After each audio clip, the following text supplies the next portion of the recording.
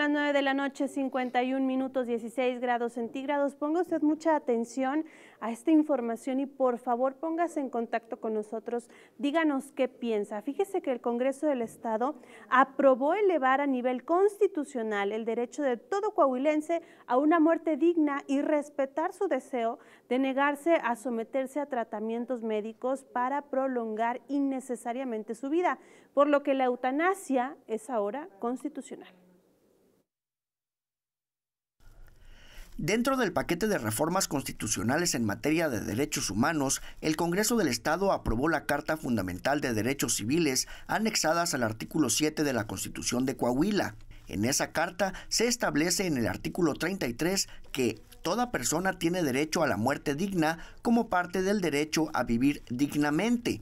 Pero además, el artículo 34 señala que la ley establecerá y regulará la manera en que las personas deberán exteriorizar su voluntad respecto a la negativa a someterse a medios, tratamientos y procedimientos médicos que pretendan prolongar de manera innecesaria su vida, cuando por razones médicas, fortuitas o de fuerza mayor sea imposible mantener la vida de manera natural. Cabe mencionar que salvo que se cree una nueva ley que regule lo anterior, en Coahuila ya existe una ley protectora del enfermo terminal donde se establecen una serie de motivos y requisitos para elaborar un documento llamado disposiciones previsorias.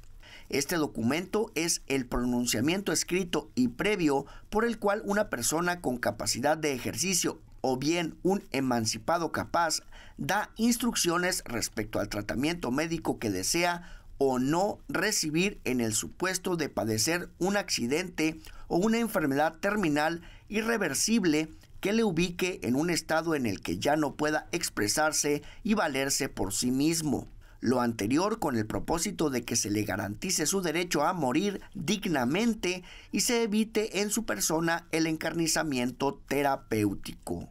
Este documento será válido siempre y cuando las instrucciones a ejecutar se den conforme a la práctica aceptada en vigencia como correcta, prudente y acertada desde el punto de vista médico y de acuerdo a las normas establecidas por la Ley General de Salud, debiendo el autor designar a un representante para que haga valer su voluntad y decida en su nombre cuando él ya no lo pueda hacer.